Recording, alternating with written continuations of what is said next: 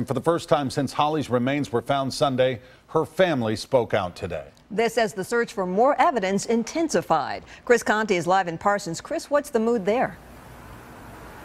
Well, Vicki, walking around here today, you get this sense of a profound feeling of loss and heartbreak.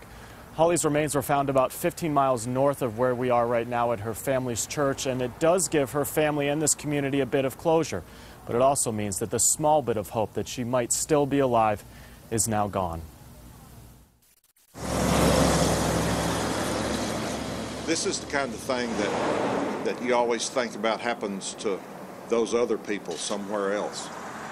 Improbable as it may seem, there is not a person in Decatur County who hasn't in some way been touched by the last three years. Those responsible will be afforded a trial.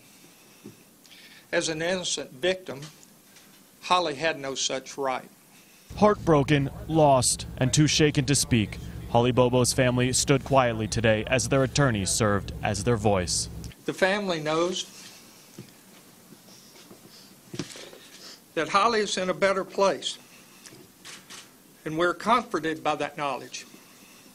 We hope that no family will have to experience what we have endured. Even after the indictments, even after the charges, there was still hope in this small town that somehow Holly was still alive.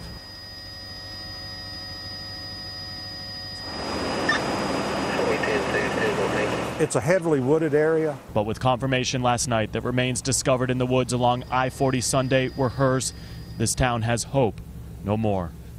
I've never seen a stronger, stronger family. I've never seen a more dedicated family.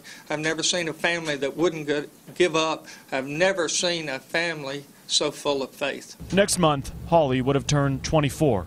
She likely would almost have her nursing degree from UT Martin. This is not the end of it, but at least we finally know what's happened to Holly. Three and a half years of hope has now given way to a lifetime of heartache. One day that they'll see their Holly again.